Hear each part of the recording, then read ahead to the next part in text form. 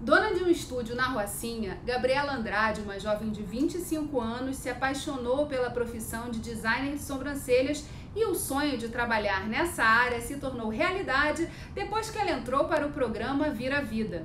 Israel Ferreira não imaginou que sua vida mudaria tanto ao entrar para a turma de 2019 do mesmo programa e hoje se tornou jovem aprendiz e está se formando como eletricista audiovisual. Oportunidades como essas mudam o destino de milhares de jovens e adolescentes de baixa renda, os capacitando e preparando para o mercado de trabalho. O Vira Vida é uma iniciativa desenvolvida pela Firjan Senai SESI em parceria com diversas instituições e que a gente vai conhecer no Rio em Foco que começa agora.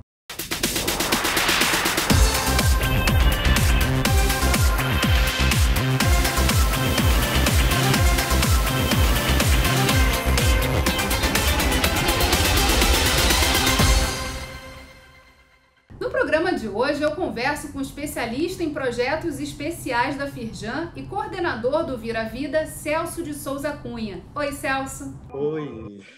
Vamos ver o depoimento de dois alunos contando um pouco sobre a trajetória deles no projeto.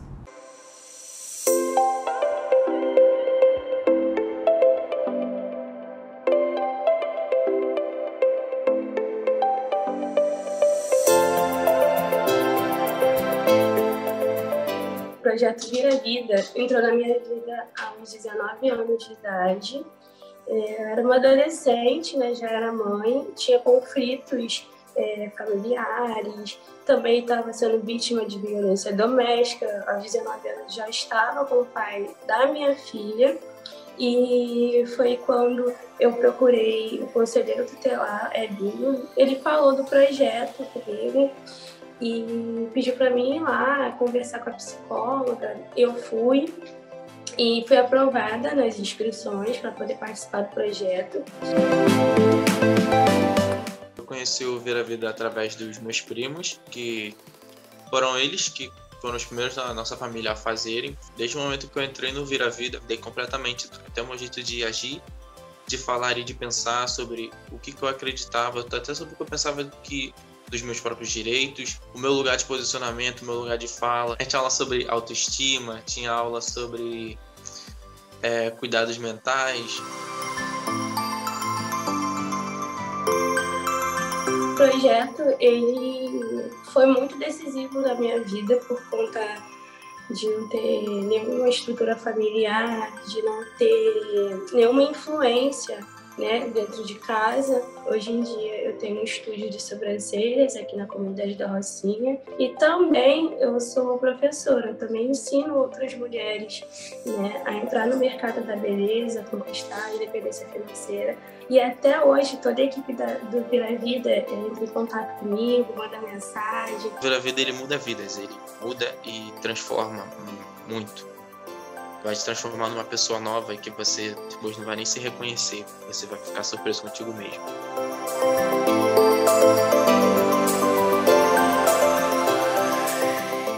Celso, há quanto tempo existe o programa Vira Vida e qual a periodicidade dele?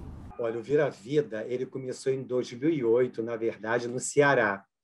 E aí ele já esteve é, em 20 cidades.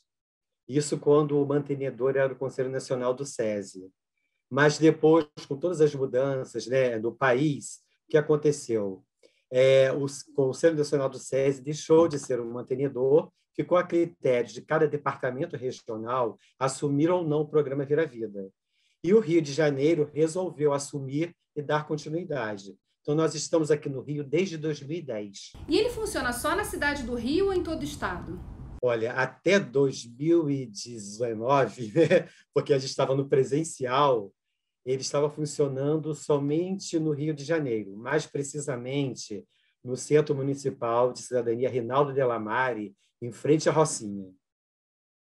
E agora com a pandemia, o que o digital trouxe também de inovação para o programa? Olha, em 2020, quando nos deparamos com essa pandemia e pensando em tantos jovens, né, para serem assim acolhidos, né, para que pudessem realmente é, experimentar o desenvolvimento humano em suas vidas, nós ousamos em fazer o Vira Vida em formato remoto.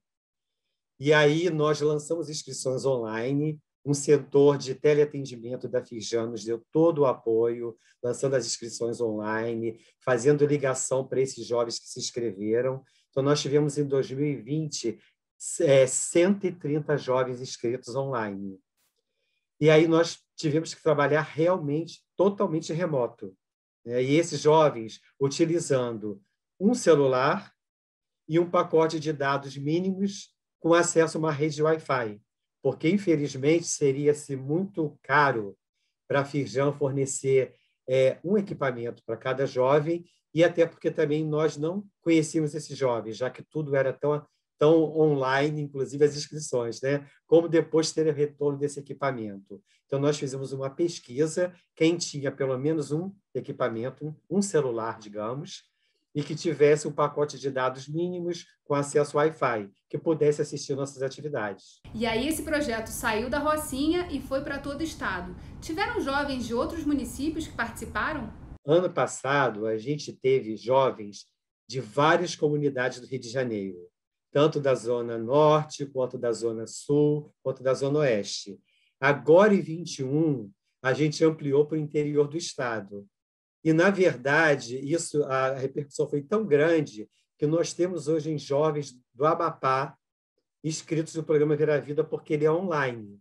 Então, a gente está com 200 vagas hoje né, abertas, a gente ampliou de 100 do ano passado para 200 para esse ano, porque o formato online e precisando apenas de ter um aparelho, né, com um pacote de dados e um Wi-Fi, esses jovens em várias partes do Brasil podem participar de nossas atividades. Como funciona na prática e qual a programação do Vira Vida? E de que forma esses jovens são conectados com informação que permite que essas histórias que nós ouvimos no início do programa se tornem realidade? É, nós usamos assim as ferramentas com eles, né? O Facebook, que nós também fizemos uma pesquisa qual era a ferramenta de acesso mais fácil para eles. Então, nós temos um Facebook, aonde esse Facebook, os jovens que preencheram o formulário, se inscreveram, a gente abre uma página específica do Facebook, onde só quem tem acesso é a equipe do Vira Vida e os jovens inscritos. As atividades, tanto da equipe técnica quanto dos professores, ficam gravadas e aquele jovem que pode assistir em tempo real assiste as atividades. Aqueles, a gente está falando de jovens vulneráveis, né? socialmente, aqueles que só têm, às vezes, um aparelho ou um computador em casa, eles assistem naquele horário que é mais conveniente para eles, que talvez a mãe não esteja usando, ou o pai, ou, eles, ou seja no contraturno escolar, porque todos devem estar na escola. A gente também utiliza o WhatsApp para poder fazer, passar textos em PDF, passar links de filmes, passar alguns YouTubes. A gente também tem as professoras que elas tiram dúvidas deles através do WhatsApp, que é o momento da língua portuguesa, o momento da matemática no dia a dia.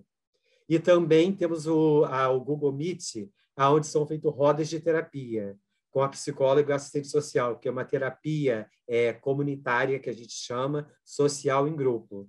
A gente vai fazer um rápido intervalo e voltamos já. Rio em Foco aqui, política, educação e economia caminham juntas.